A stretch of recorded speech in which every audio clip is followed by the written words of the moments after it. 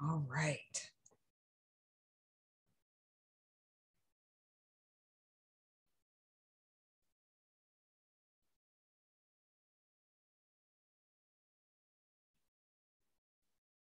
All right. So Veronica and I are doing our best to get this live streaming. I don't know if it's, it doesn't appear to be live streaming properly, but we are recording this uh, first inaugural episode of Let's Talk. And the universe is making us really work for this conversation. So we're going to make sure that it is a luscious and, and, uh, chock full of deliciousness. We're t- talking about tea today. We're going to just fill it up with all that goodness. So, I'm Amalia Natalio of Karmic Kindness, and with me is Veronica Manuel from Tea Minus One. And Veronica, thank you so much for being here with me today and for hanging through all of our snafus that we've had. But we are here and we are going to rock this. We sure are. And I'm so grateful for being here. Thank you so much for inviting me on your show.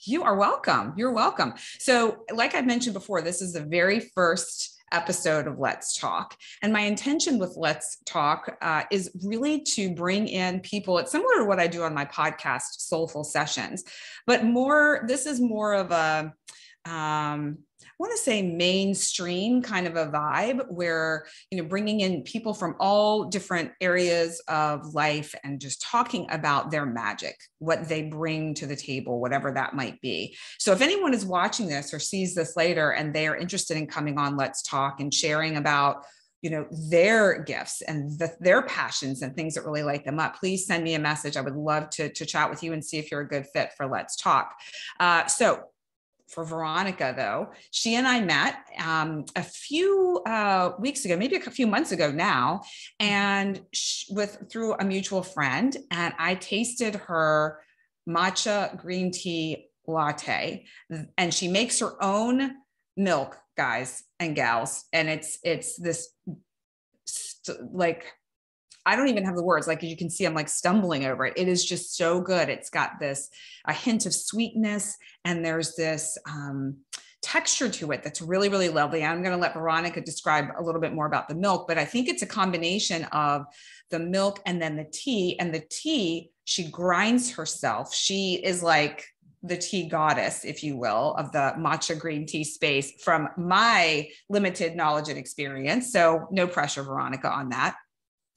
Yeah. So, so oh. tell us tell us about it. Tell us about like how you how you got into it and and about the green tea latte for folks who might be interested. Yeah, so I first got into matcha by taking tea ceremony lessons at Morikami Japanese Museum and Gardens in Delray Beach, Florida. And I fell in love with all kinds of Japanese teas, but especially matcha, which we prepare in the tea ceremony in a very ritualistic and traditional fashion. And so I wanted to bring matcha to more people. And I decided to start grinding it fresh here in Florida, which to my knowledge, is a very rare uh, thing to do. Uh, so I imported a granite Ishi Usu stone mill and I imported it from Japan. I had to fight through customs to get that here and uh, submit all sorts of paperwork. But when it finally got here, I was able to mill tencha green tea leaves from Japan into matcha. And I started serving those in matcha lattes. So the secret recipe for that latte that you love so much is a milk made of cashew and coconut. And it's a cashew, coconut, honey. And that makes a silky milk and a little bit of coconut sugar that adds a little bit of a, kind of a umami sort of taste to the milk. And I pair it with the matcha so that it doesn't overpower the matcha. And um, every, I would say, half gallon has uh, 20 grams of matcha. So it's a, a very matcha forward drink. So yeah, yeah, yeah it, it it really is. What struck me is that it is really uh, smooth. You know, for people who are, are vegan, this is a great alternative. Uh, it's also if people, you know, for me, I'm very sensitive to caffeine, so I did feel the caffeine in this because there was a, a, a strength to the caffeination, but it wasn't the same as you would get from. Um, I don't drink sodas or anything like that, or energy drinks or those sorts of things, but I do drink coffee. Um, so, and I usually do half calf. So it's half caffeinated, half regular. And I definitely felt it, but it wasn't this like oh, my heart's racing and I felt really jittery. It was just like, oh, I could feel that. So, um, for people who really like that caffeine buzz and they aren't as sensitive to it as I am, I think it, it's a really nice, um, natural way to give yourself a little bit of a, of a boost. Uh, and the beautiful thing, and I'd love for you to speak about this, Veronica, too. I mean, there's so many things I want to uh, touch on, but for those people who may be listening to this and think, okay, well, that's really cool, but I don't live in Delray. So how am I going to experience this myself? Um, you know, maybe you can't get Veronica's milk ordered, but you can order the tea, and it's very simple to make yourself. So, if you don't mind sharing a little bit about um, where people can find the tea, we're going to talk a little bit more about the history of it too, but where they can find it if they're like, ready to, to pop online and grab some now just from what we've been talking about. And then talk a little bit about the preparation. It's not as daunting as some people think when they think matcha green tea. Right right yeah so you can find my tea at t-one.com that's t-e-a-m-i-n-u-s-o-n-e.com and actually there's a discount code that i created for amalia's podcast listeners and for listeners of this show and it's soulful 15. So S O U L F U L L. So soulful as in full with two L's and 15 to get 15% off anything on the website. And you can, of course, find excellent matcha from other retailers online. My main suggestion is to shop on a place that is selling in Japanese yen because your credit card can do the foreign exchange transaction, but you'll really know that you're getting a high quality import of matcha if you're buying in yen. And you're probably shopping on a very reputable website in that instance. So, with that, I, I definitely wanted to talk a little bit about the history of matcha. I know that there is uh, some drama in the history involving uh, a suicide of a Zen monk and all sorts of um, nobility drinking this tea from Japan. Um, so it all starts in the ninth century, where Zen priests went over to Japan and uh, they brought back um, in cultural envoys uh, bricks of tea from China. And then in the 12th century, the Chinese did start to uh, steam and pulverize their tea. So a lot of people think that matcha was invented by the Japanese, but actually this is a Chinese innovation. And so they would prepare with a whisk what is called mud tea or tea mud um, in a bowl. And this is the way that I recommend preparing matcha at home. So if you order one of these teas, then uh, from myself or other retailers, that you prepare it with either a wooden bamboo whisk, which we call a chasen, or an electric whisk is fine. Even a spoon or a fork, if you don't have a spoon, you can just whip it around in a cup uh, in a bowl and then pour it over your favorite vegan milk or whole milk works great too. You can even steam and uh, the milk and create a matcha latte or a matcha cappuccino style. So actually it's very interesting because around this 12th century we had the samurai warriors starting to drink matcha. The zen priests introduced matcha to the samurai.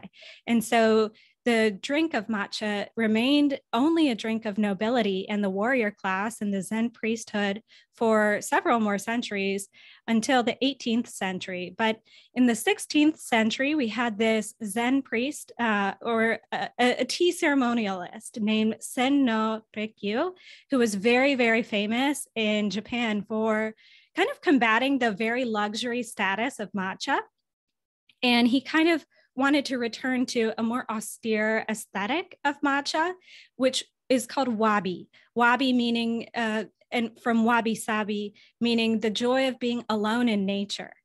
So, this feeling of the austere, the natural, the simple was kind of celebrated again by this uh, Zen priest and, uh, and Zen practitioner, Sen no Rikyu. And he worked under a lord named uh, Hideyoshi. And Hideyoshi and him were very powerful because the Lord had a lot of political status in Japan. But because Sen no Rikyu was very stubborn and independent and was starting to get famous on his own right, Hideyoshi and him had some arguments and crucial differences in opinion. And asked Senno to commit suicide by ritual ritual suicide with a dagger, which is called seppuku.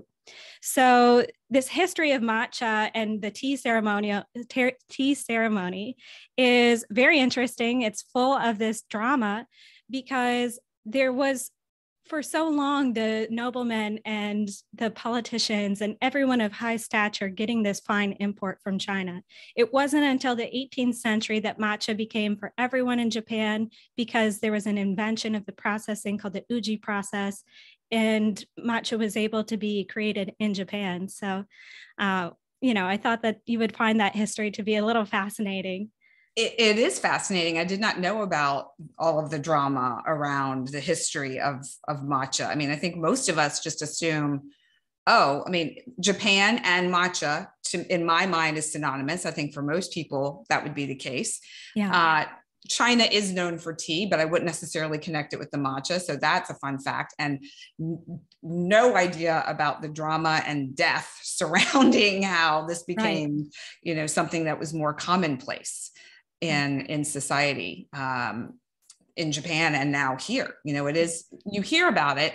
What what what would you say to people uh, when it comes to like a green tea or a matcha latte at Starbucks, perhaps, versus I mean, obviously, you're the I've tasted both, and there is a distinct difference between what you you offer and what Starbucks offers. But what would you um, say from your experience would be the difference between the, the two as far as um, the ingredients and the pro- taste profile? Yeah. So, um, first off, Starbucks adds sugar to their matcha. I've asked for it unsweetened, but I think the matcha that they get is already mixed with sugar. Mm-hmm. So, there is a automatic sweetness and a different kind of vibration that you get from drinking a sweetened beverage versus an unsweetened matcha beverage.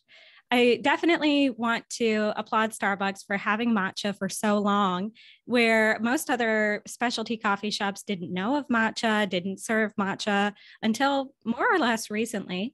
And matcha is really because it hails from a beverage for nobles in Japan, is kind of like this fringe really amazing beverage that Starbucks has created mainstream. And then now we have a lot of people in the US who are discovering this green drink. So at Starbucks, I would find the matcha a little less powerful, more sweetened, less umami, we call it, or earth tone, but a little bit more light, caffeinated, and uh, just not so matcha forward.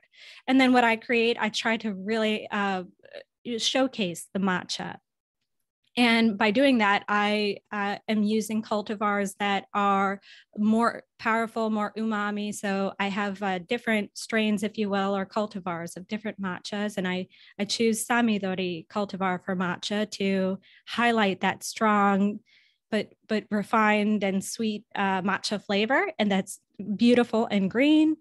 And I add more of the matcha to it and I, I make the milk recipe a little thinner to let that matcha shine shine through you know? Oh okay. That's interesting. So for folks who are looking to purchase your matcha and make it at home you know keep that in mind you know that maybe you your recipe might be adding a little bit more matcha to it so that you can actually taste it and experience it differently than maybe if you would go to Starbucks, where it's going to be a little bit, um, maybe a little bit more watered down, perhaps, or at least flavor profile wise, and definitely sweeter because you're right there's i've asked the same thing you know no sweetener or less sweetener and it's still pretty sweet.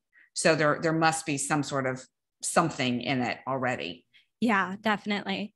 Yeah and you can always drink matcha with water. Uh, i drink matcha neat every day. I whisk the matcha in a ceremonial fashion. I don't always do the whole chanoyu tea ceremony but i use the chasen whisk because i like a foam on my matcha.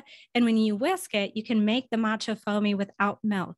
And it totally changes the flavor to aerate it a little bit, kind of like a fine wine where you decant it and expose it to the air. So the matcha, when you whisk it and then you get this nice little frothy layer, it's like a cappuccino, but a matcha cappuccino.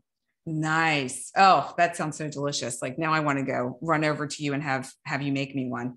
Uh, so okay, another I have another question about the ceremony. So sure. you mentioned would you cha chasen chasen yeah. ceremony. So what what what what does that entail?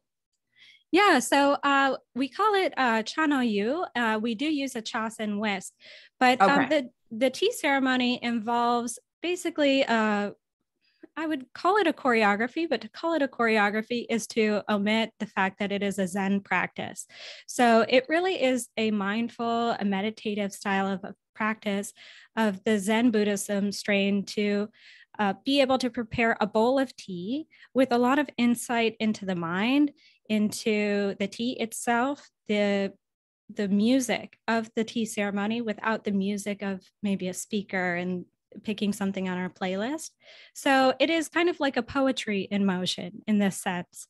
And I really find the tea ceremony beautiful, especially the full Chanoyu tea ceremony involving a lot of decorum for showing respect to a guest where we would turn certain ways in the room or show the bowl the front of the bowl, the design on the bowl to the guest in a very decisive manner. We have these cultural cues to show a lot of respect and then also to have a very quiet quality time together. That's really what it's all about.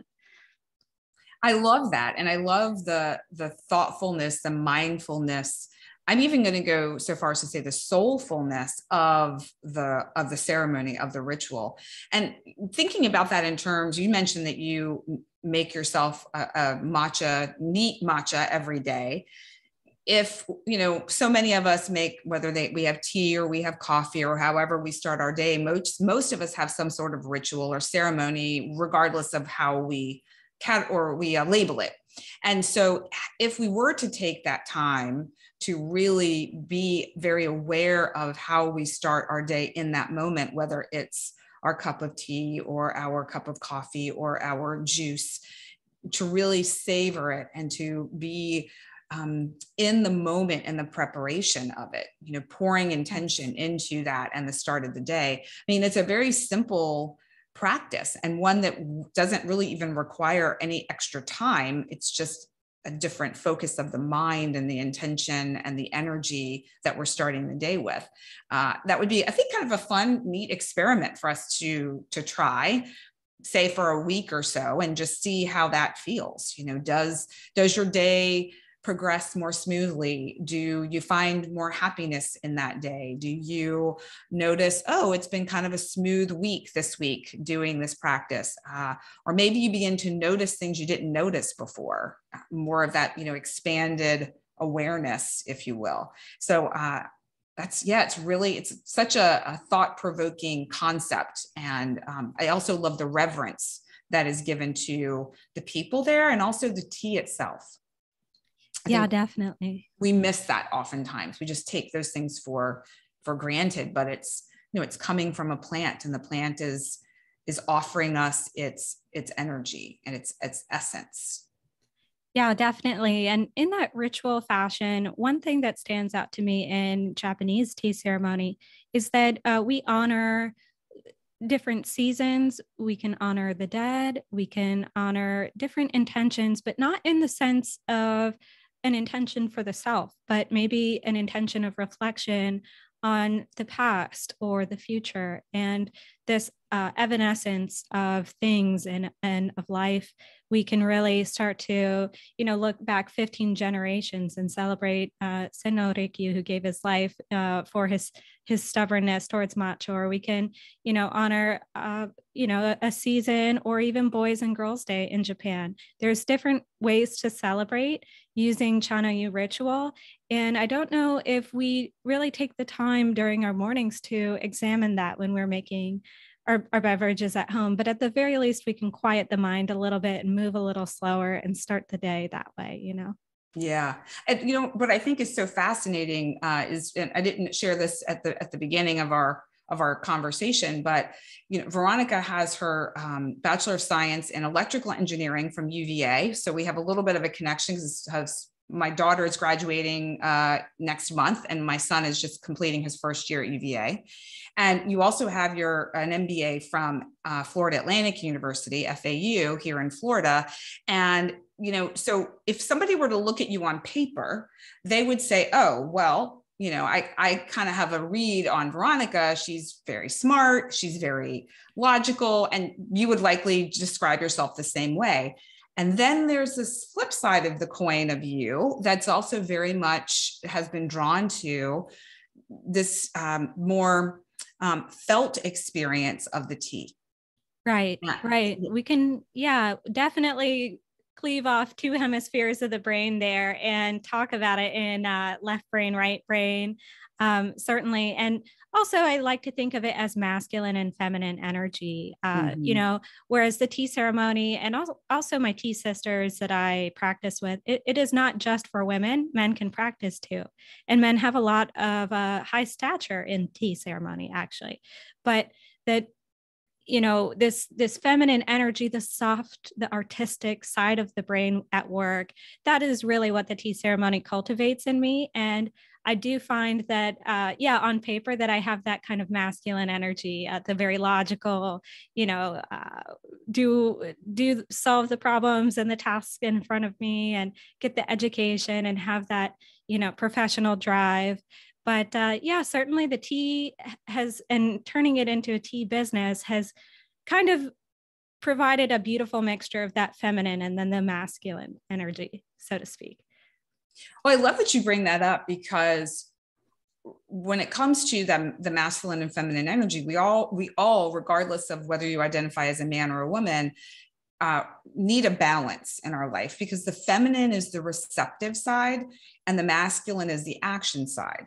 But the a- action side doesn't really know what to do, where to go, where to focus without the receptive feminine leading the way. And oftentimes we find a lot of people going forward without an, an actual uh, intention or place in mind, other than maybe, oh, I want this thing or i want to make this amount of money but the but the intention that and the motivation that lies underneath that is unknown and so if we are able to balance that a little bit and, and, and I think the tea is a great practice for those who are a little bit more logic heavy versus feeling. It's a great way to do that really, really simply and get used to it. It's a little bit of a, of a practice of that feminine muscle, if you will. Definitely. Yeah. And if you look at my kind of experience and my education, you would definitely see that more masculine side, but that I've always wanted to be an entrepreneur. And being an entrepreneur all along the way, I did work in academia as well, but uh, being an entrepreneur as a software programmer. I worked in, uh, I mentioned the coffee business, I think. Uh, my brother has started a coffee shop called Deeks in Delray, and uh, I worked alongside him for a while. So, and that was kind of a more masculine kind of environment as well. So then the tea was kind of a little bit of a response to the coffee side of my family, and uh, and also this desire to be an entrepreneur and do something a little bit more original and creative and that creativity can be both masculine and feminine. And it's just the different tasks that arise during the day that would be defined as, uh, you know, in this Jungian sense of masculine or, or feminine energy, uh, if you will, you know? Yeah. I mean, that, yeah, that's so true. And, and I'm glad you brought up your brother too, because I actually met uh, Veronica's brother, Nico, first before I met Veronica. And, uh, you know, it's funny, their mom's name is my name. So immediately there was this, this sense of, oh, familiarity or connection there. And then they're also from Virginia, similar to myself, and find ourselves here in Florida. So it's just a, a lot of really beautiful synchronicities that brought us all together and how it all it weaved that it's you know beautiful web of of connection which is really really cool. Um, so veronica let me ask you one more question about the the tea itself and you know, you know there's ceremonial grade tea. I've heard that term used before.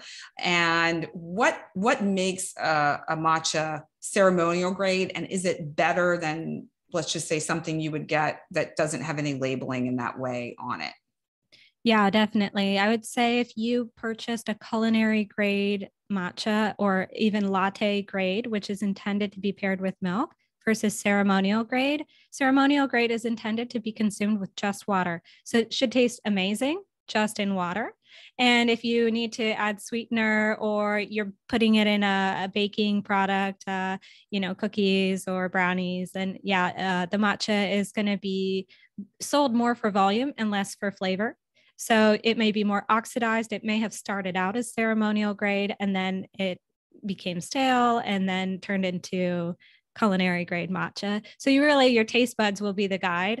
Uh, I have tasted ceremonial grade matcha that was labeled that way that I would consider maybe a little more culinary grade.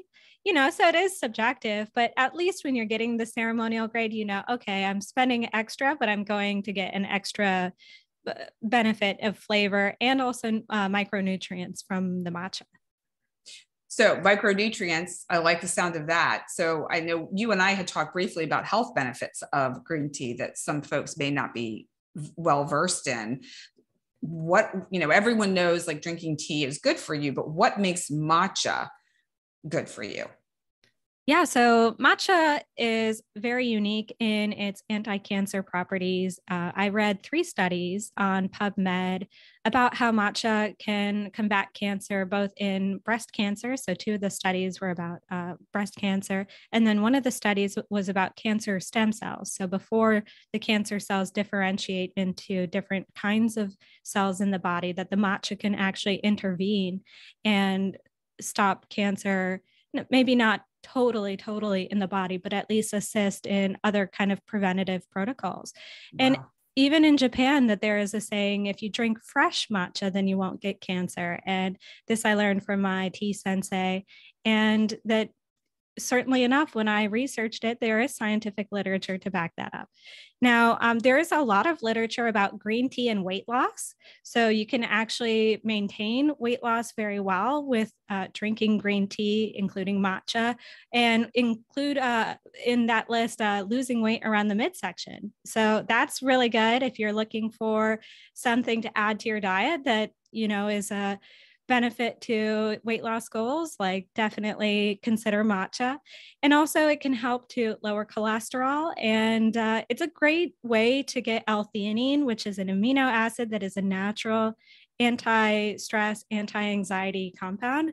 So the caffeine is not that sharp buzz, but it is kind of extended release because of the L-theanine binding to the glutamate receptors in the brain and suppressing like excitatory activity in the brain. So it has a lot of health benefits, and you don't have all those fibrous uh, effects of drinking your greens. Uh, so it's a good way to conveniently drink your greens without having all of that that fiber. You know. So I'd be curious, and, and I'm, I, I may know the answer to my own question just by logicking it in my brain. But so if somebody were to use like the ceremonial grade it's going to be really high quality, it's going to be a potent grade of the matcha. Yes. If you were to add that to uh, something that you were cooking or baking, mm-hmm. it's is it i don't know that it would necessarily lose its potency because you're when you make a tea it's heated up also um, so what what is your opinion or from your experience what are your thoughts on that yeah um, well, I wouldn't bake with it because the baking is at such a high temperature and for so long.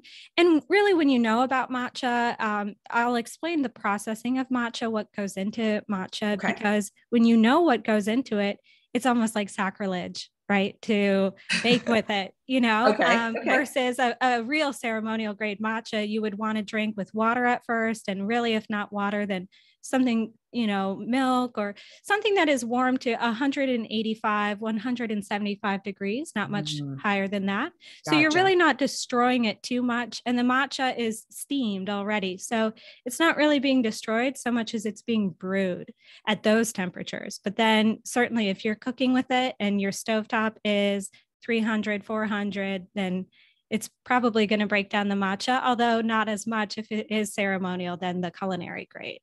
Gotcha. Because the that culinary grade. Yeah. That makes total sense. Yeah. Okay. So would, would you mind sharing about the, uh, you know, the, the process? Because I know you mentioned earlier that you bought a, a stone with some effort to get it here. Yeah. That you, that you used to grind it, I'm assuming. Yeah, I mill it and I did start out by hand cranking the mill. Um, yeah, so basically, matcha starts out as being shade grown. So the shade growing of matcha improves the chlorophyll and the L theanine in the matcha uh, in the green tea leaves themselves. And then after about three weeks of shade growing, right before the harvest, once it's harvested, the leaves are steamed and then steamed, dried, and then static electricity is used to further refine the matcha so that, uh, or excuse me, the aracha, the um, leaves before the, the unprocessed leaves, right? So the twiggy parts and the meaty leafy parts are separated and what you keep is the leafy delicious parts okay. and then um, that is tencha tencha is the phase the name that uh, the green tea has before it is milled into matcha which is milled tea and when it's milled it's milled to micron fineness so that really, really fine grind helps the body to absorb it really quick in a way like espresso. And it is kind of similar to espresso in that you do get that feeling that that buzz in a pretty quick way, but the it's you're drinking the whole leaf. You're not drinking just the extract from the water of tea. So you're getting a totally different beverage than mm. just loose leaf tea. That's really cool. I didn't think about it in those terms that, you know, you are imbibing, ingesting the whole leaf. Yeah. Yeah, definitely. Yeah. And so much goes into the harvesting. I try to source hand picked matcha. So, or uh, hand picked tencha leaves. So, you can find matcha from several different regions of Japan. Some of the areas use tractors to harvest, and some still hand pick in the old fashioned manner and you know when when i'm buying the hand-picked you know leaves and then i'm milling it fresh i just don't want to bake with with that product you know and similarly with other ceremonial grade matchas i wouldn't recommend unless it is going stale or you don't really like the flavor you know so yeah i i do understand what you're saying now like after under you know having a, a, a better understanding about what goes into it and and how mm-hmm. much effort and energy it takes it yeah. seems like it would be it's kind of ruined if you put it in something else you it's losing its its flavor it's losing its luster in a way and then you're destroying the all the the nutrient richness of it in the oven or on the stove. So yeah. that makes that makes sense. So a, just a regular culinary grade would probably be just fine for cooking. So you can get the flavor but you don't feel quite so badly about about it the all the effort that was made to bring it to that to that point. Right. Yeah exactly. Exactly. It may be you know machine harvested uh, and whatnot so. Yeah. So one other question um and maybe i'm making this up in my head but you mentioned um the tencha. Isn't there something called sencha? Yes. Yeah okay, so, so can, what is that? Yeah, sencha is Japanese green tea. So it doesn't necessarily have to be shade grown. Um, it is not refined in the way that tencha is. Uh, and refined meaning, you know, that just the leafy meaty parts. So that the sencha can be rolled. Uh, sencha is uh, often rolled and uh, it kind of looks like thin little needles of green tea. And then we brew that with water so that you're getting the green tea extract, but not drinking the whole leaf. So sencha is kind of an umbrella term.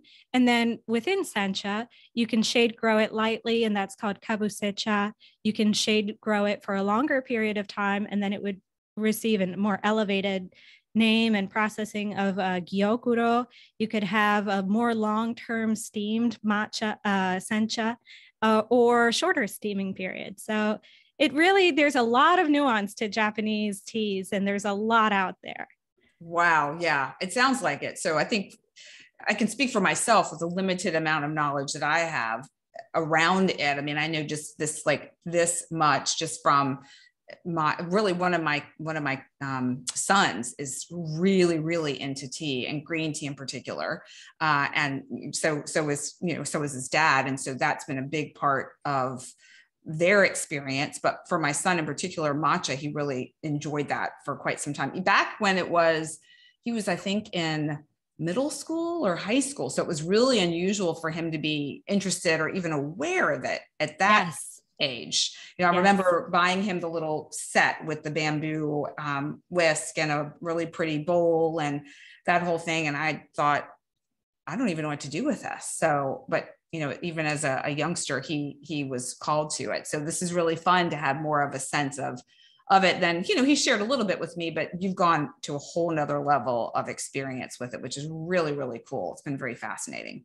Thank you. Yeah, I, I really love uh, matcha, both to drink and then also the art around matcha, the history, uh, people's stories about matcha. It seems when I meet people and I mention that I'm into matcha, I get this like great reaction from some people like, oh my God, I love matcha. I make matcha every day. Like, you don't even know, you know. And I get a lot of matcha nerds coming out of the woodwork, you know, and telling me that how much they love matcha. And uh, I don't see that relationship with uh, other kinds of tea as often.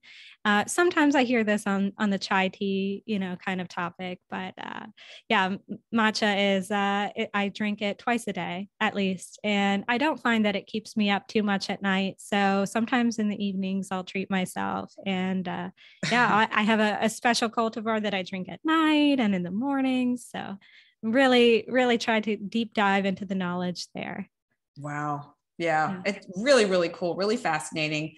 Uh, one final footnote before I'm going to let you share where people can find you again, but um, Veronica and I were invited to participate in a really special event for um, for really for women. Sorry, guys, this is just for us. It's a it's a women's retreat, quote unquote. It's an evening event at Dancing Lion Studio in Delray Delray Beach, Florida, and it it honors women in general, the divine feminine. Uh, I know it's Mother's Day weekend, but you don't have to be a mom.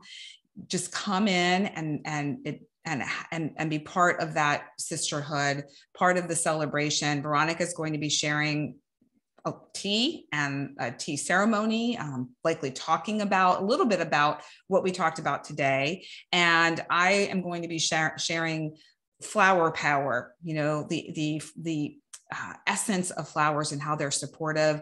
I'll be talking about LotusWei products, which is my go to for any sort of flower power assistance support Uh, it comes in elixirs and mists. I mean, you could even add it a couple of drops, a few drops to your to your tea if you wanted to give it a little extra little oomph uh, to start your day or end your day, whatever the case may be. Uh, and there uh, is also going to be some meditation and movement led by uh, the owner of the studio.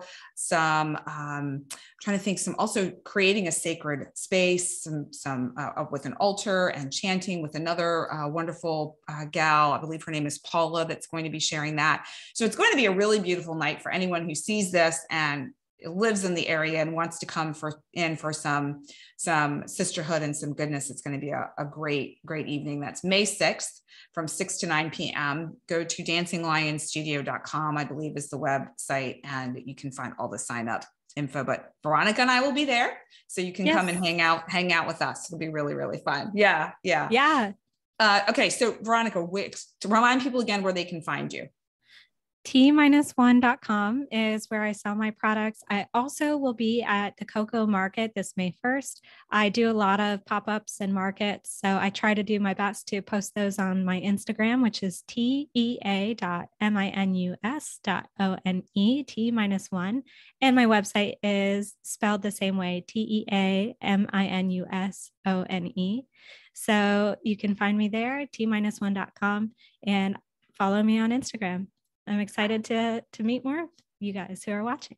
Yes. Oh, yeah. It's going to be an awesome event. Thank you again for being here. I look forward to more conversations and lots of tea drinking, whether we're together or in our own spaces, thinking about one another on, on occasion. And, yeah. you know, thank you all for listening and hanging out with us and spending this, this time with us on Let's Talk. All right. I, we will say bye for now. All right, everyone. Bye. bye.